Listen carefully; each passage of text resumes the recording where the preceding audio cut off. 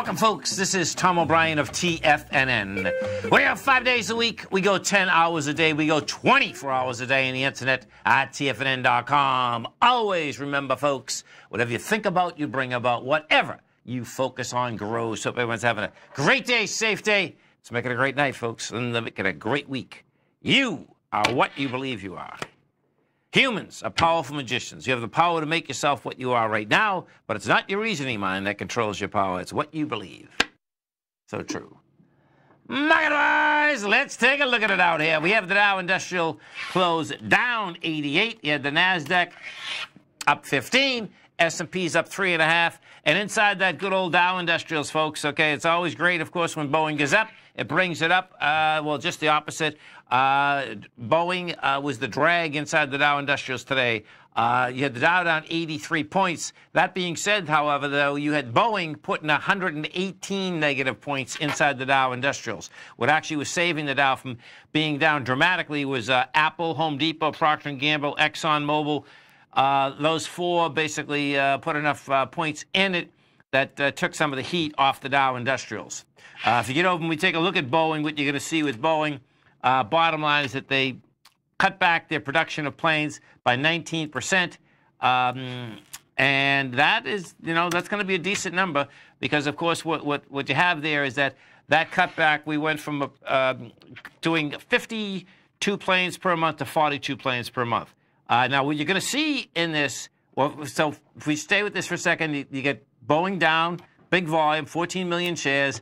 Expect the next leg is going to be down at uh, 361. You're at 374 right now. Uh, we'll see how it operates there. Uh, when you get under 365 inside Boeing, that brings you in the lower range. It looks to me like what's actually go a lot lower. What you're going to start hearing about, and we'll see, uh, and I'm sure the analysts that uh, know these fundamentals upside down, I'm sure they actually uh, went down into the supply line because that supply line is going to get hit in a huge way. You can imagine if you're in the supply line of Boeing, uh, you know, bottom line that they planned on making, uh, building lots of planes for lots of years, and all of a sudden uh, that cut, cutback gets uh, exponential in a huge way. Notes and bonds, 10-year uh, note down four ticks, 123.14.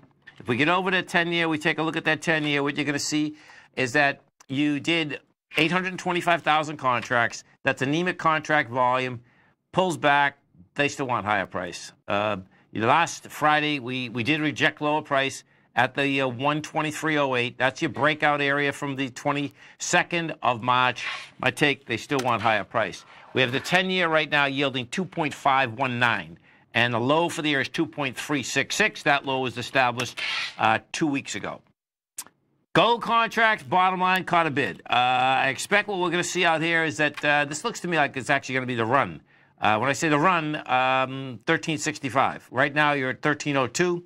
What we had last week, gold rejected lower price at the 1284. It was coming into the strength from January 25th, 1291. Nice setup. Came in with lighter and rejected it, goes topside once again. Uh, dollar index, different animal, man. Now, this dollar index, is going to get really interesting uh, watching how this shakes out. We've been in the same consolidation, folks, since October of 2018. The top of that consolidation is the um, 97 area. The bottom of the consolidation is the 94 area. Now, what is intriguing is this. So, so picture inside the, uh, and I'm not, I'm not shifting gears here. What I'm, uh, what I want to explain to you is that when you buy U.S. Treasuries, you have to buy them with U.S. dollars. What has happened uh, Saudi Aramco is having one of the largest bond sales in the history of bond sales for one company. Uh, they are basically uh, doing a deal that they're buying one of the government countries uh, companies, and they are going to be doing a, a, a dollar bond sale. They're, they're doing them in dollar. Right now, it's reported that the amount is already at 45 billion. Now, it's going to be intriguing here. Um, that's that's a decent number. Now, that's not that's not the end of the world. Meaning, if you have folks that are in the U.S. inside that already have dollars that are buying that. where this gets intriguing is that if you have Europeans, I'm sure that are buying it, if you have the Asian market buying it, all of those folks are going to have to basically get those their yen or their euros or their pesos into US dollars in order to basically buy that bond. So it's pretty interesting that, you know, this is happening right now. We'll know in the next few days uh, exactly how big that is going to be. Just, and just to give you an idea, this is the, uh, the first time that this company went out in the bond market at all. Uh, the largest deal before this, uh, as for a sovereign out there, 17.5 billion, and that was. It actually doesn't say what sorry. So it was a country, another country went out there with 17.5 billion. So my my my point is is this: is that what you have is that the dollar is actually not that high. Well, it's at highs, but it's actually not. It's at it has high with with weak volume. It's not as high as it could be when that much of a transfer has to take place before that whole deal gets done. And we don't know, as I said, I really don't know what the amount of dollars will have to be transferred from other currencies in order to do that. You know, when you, when you take into consideration, though, you know that uh, the bottom line is it just just it's not going to be all coming from the U.S. It's not even close like that. Euro. We take a look at the euro. What we have with the euro is that the euro is trading right now at 112.63.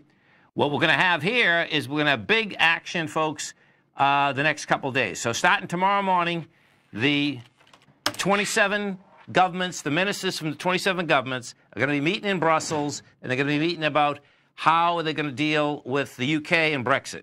Uh, right now, coming across the tape, actually about an hour ago, was the uh, was an extension going from June of this year, June of 2019, all the way out to April 1st of 2020.